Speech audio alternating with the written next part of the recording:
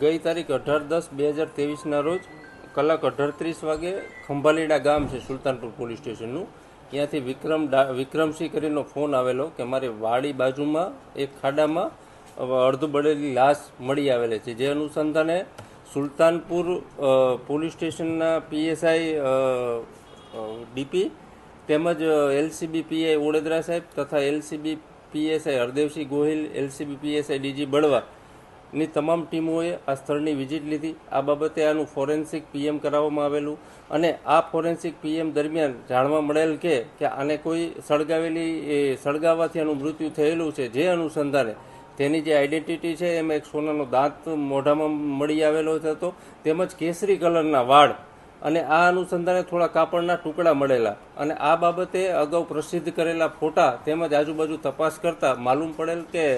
બાજુનું ગામ છે, ત્યાંથી રાજુભાઈ દેસાઈના વર્ણનને મળતું આવતું હોય, જે સત્તર તારીખથી ગુમ હોય. જે અનુસંધાને તાત્કાલિક તેના સગાવાલાને બોલાવી, લાશની ડેડ બોડી બેને બતાવી, તેમજ આ જે કપડાના ટુકડા અને મોઢામાં સોનાદાત વાળ સોનેરી હોય, તેને ઓળખી બતાવેલું કે આ ભાઈ મારા ભાઈની જ લાશ હોય. તેથી તેનો ભાઈ જે મુન્નાભાઈ કરીને છે તેઓની આ બાબતે ત્રણસો બે અને બસો એક મુજબ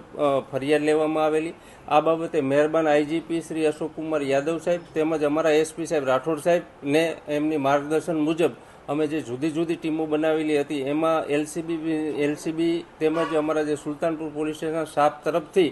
હકીકત મળેલી કે ભાઈ આમાં જે એના પાર્ટનર છે, ફૂલાભાઈ કરીને શંકાસ્પદ હોય, જેથી આ બાબતે તેને આગવી ઢબથી પૂછપરછ કરતાં આખે આખો ભેદ ખુલી જવા પામેલ છે. આ જે ફૂલાભાઈ છે એ મરણ જનારને એ બે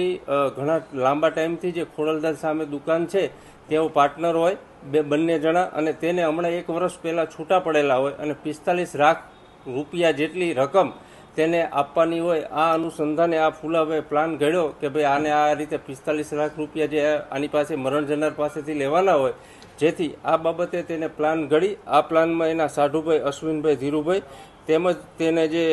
કામ કરતો માણસ કિશન સૌજી બંગડીવાળા, તેને એક કારમાં એક ઠેકાણે બોલાવે છે અને પાછળથી જે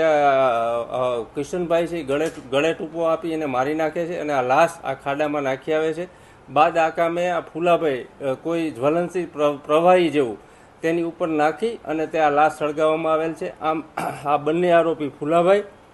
તથા અશ્વિનભાઈ ધીરુભાઈ તેઓને ધોરણસર અટક કરેલ છે જે નાસી ગયેલ છે આરોપી કિશનભાઈ, એની પોલીસની જુદી જુદી ટીમો બનાવી આ બાબતે તેની તપાસ ચાલુ છે. આમ આ સમગ્ર જે બનાવ છે તેને એલસીબી રાજકોટ રૂરલ તથા અમારા PSI Sultan police police station અંગત રસ લઈ આ બાબતે તાત્કાલિક ધોરણસર અટક કરવામાં આવેલ છે અને આ બાબતે હજી પણ આ બાબતમાં એની પૂછપરછ આગળ માટે રિમાન્ડની કાર્યવાહી હાથ ધરવામાં આવશે.